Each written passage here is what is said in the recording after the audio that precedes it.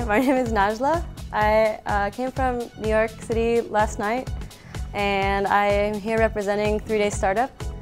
What a 3-Day Startup event is, is a, a learning environment for entrepreneurship. So what we found is that there are a lot of ways to apply things like science, um, uh, art, but there aren't ways to actually apply being an entrepreneur. So the goal is to make three months of progress in just three days. So the objective of bringing this program to Cluj is to try to transfer the experience that has accumulated in the IT entrepreneurial ecosystem into the broader academic environment.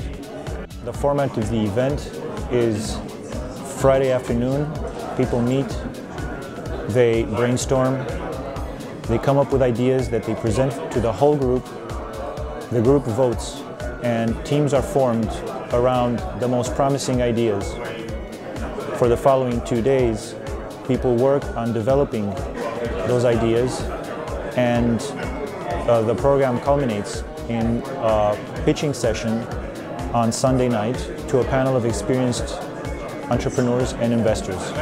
So it's about, you know, understanding what the problem is, very simple, what a solution is, what a strategy is, how to present an idea then so that it is comprehensive, for a potential investor that has maybe five minutes to understand if this is an interesting case about you know planning parts, uh, uh, really all essentially scratching the surface of all aspects relevant to launching a business.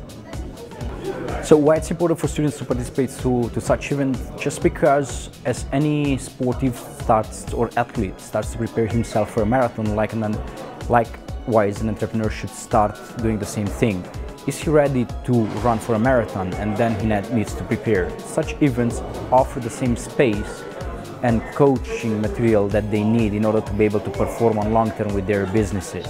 We also have amazing mentors that come uh, from near and far just to help out with the event. So uh, I came all the way from New York City. We have uh, a few people from Switzerland and from various parts of Romania. So it's definitely an exciting thing to have. So it's a great thing that someone thought of this and it will be it would be really hard to get this kind of people if you want to do this by yourself. Uh, in, it is through events such as this, which are focused in learning by doing, that we want to transfer that experience from IT entrepreneurs and investors and mentors to students, PhDs, young scientists uh, uh, in the Cluj universities.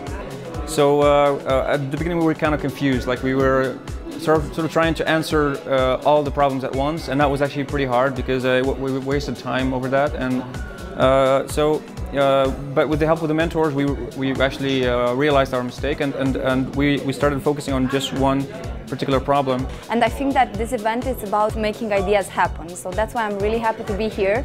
And I'm, I'm so lucky to have a team around my idea that I came here for. It's really hard to get motivated in the beginning, and we hope that this motivates people to actually hit the ground running and keep going with their startups. Uh, maybe afterwards they'll reach out to these amazing mentors that we've had, they'll talk to the organizers and other participants, and they'll use this big network that they've created in order to actually keep going with their startup. I think such events are very important because when students get out of academia, they have learned very little about entrepreneurship. And uh, these platforms in this very compressed format help them to discover lots of aspects of, of entrepreneurship. And therefore it's a very important learning experience for them. And we have been able to observe that in these past two and a half days where we've seen that concepts that those teams have integrated, adopted and actually now successfully implemented in their projects. So that was a very nice experience. Uh, so right now I'm working with a specialist in legislation, with a specialist in uh, web development and uh, and also a specialist in marketing and uh, it's a very good thing that everybody has the, the same uh, force and they all start to work on the same idea and uh, it brings contour to everything that you want to do.